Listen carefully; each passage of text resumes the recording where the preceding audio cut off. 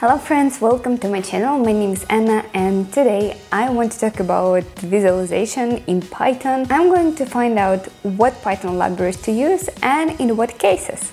Personally, when I should make some graphs or charts, I always think about different Python libraries and to be honest, it takes some time to choose the one. I have always the same questions like uh, what Python libraries is better for this or that graphs.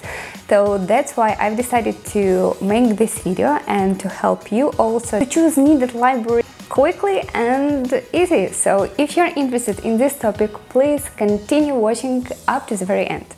Python offers multiple great graphic libraries uh, that includes different features, so you can create a line plot, bar chart, 3D scatter plot, or interactive scientific or financial chart, and any other graphic of small or big data sets. And some libraries might be better in specific cases, so let's identify this together. And the first library that I want to start with is Matplotlib Matplotlib.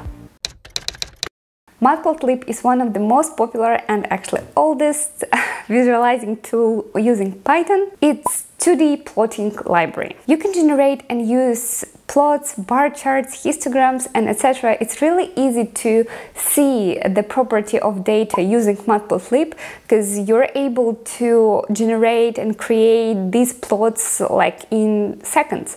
And sometimes it's super helpful when you're doing analyzing some data, you need to understand what is going on here. What is going on? You just use Matplotlib and see like the distribution or other features. So yes, Matplotlib can plot anything, but there is one disadvantage. It can be complex to plot some non-basic plot or to adjust uh, the simple plot. This is because Matplotlib has low-level interface. Most of the Matplotlib utilities uh, lies under pyplot submodule and usually imported under the PLT alias. So let's see some examples of graphs. Go to matplotlib.org website, click examples and here you may find the examples of different types of plots like some statistic plots. So click on the graph that you're interested in, you see the code and plus you can also download the Python source code. So it's easy to implement and use it in your daily work. By the way, you can find great instructions on the matplotlib.org site, so don't hesitate to use also some instructions to see how to build everything and see actually the options. Next is Seaborn. Seaborn is also one of the most popular uh, Python visualization library and it's based on Matplotlib. And by the way, if you're willing to have high-level interface and create attractive, like nice and different types of graphics and charts, Seaborn will help you. Seaborn aims to make visualization a central part of analyzing data. And the main advantage of this library is that it requires less code. So in other words, it really provides similar graphics like Matplotlib, but with less code and high-level interface. For example, you can create graphs in one line that would take multiple lines in Matplotlib. Its standard designs are awesome and, and it also has a nice interface for working with pandas data frame. But if to compare Matplotlib and Seaborn in terms of a variety of plots, graphs and charts, uh, you will definitely find more types of uh, these items in Matplotlib than in Seaborn. So pay attention to this detail, especially if you have some specific kind of uh, graph needs to be visualized. When it comes to interactive Python visualization tools, uh, Plotly has a top place. Plotly has its all 3D graphics, line plots, scatter plots, uh, area charts, etc. By the way, you can use Plotly on in online and offline modes. The main advantage of this library is that it's easy to create interactive plots. The syntaxes in Plotly is simple. As you already understand, it's much more interactive and visually flexible than Matplotlib or Seaborn. By the way, interactive plots make easier for viewers to see uh, the data in every detail and to have a closer look at each data point. It should be noticed that if you would like to make dashboards, uh, Plotly is not so good library as Bokeh, so this is the next library that I want to tell you about.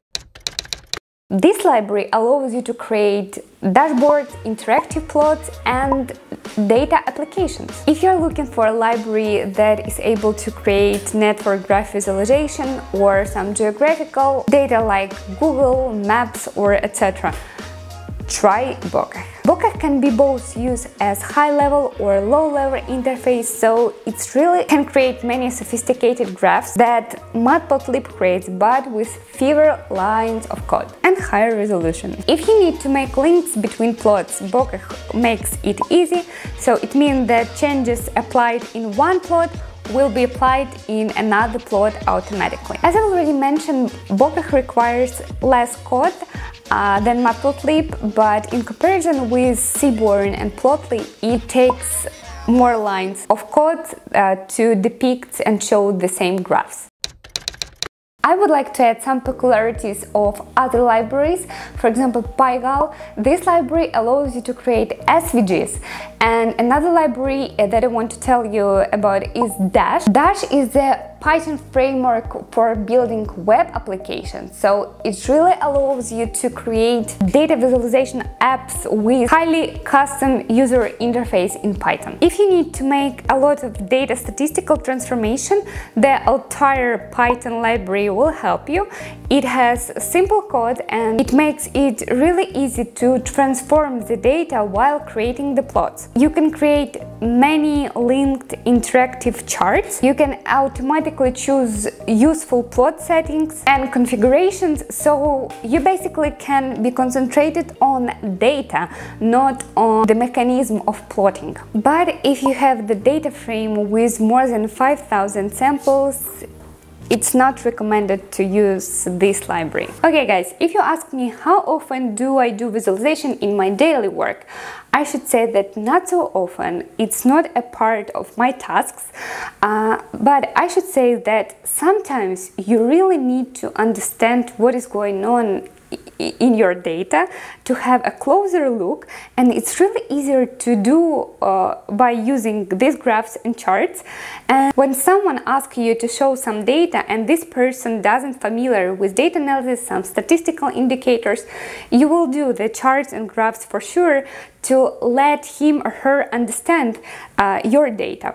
So understand what kind of library and what library should you use is super important because I know on my experience that sometimes you spend like uh, half an hour by choosing the libraries because you don't familiar with visualization, you don't do it so often, so you need to Google to understand uh, which graph is better to draw. Uh, to create. Um, so yeah, it's better to have understanding that Matplotlib is super easy, uh, but you can't draw like cool and interactive um, and nice uh, design uh, graphs or charts. Uh, Seaborn is with high-level interface. Uh, interactive plots are Plotly Altairs. If you need SVG, you need PyGal and etc. So I hope this video was interesting and useful for you. And do not forget about pandas library.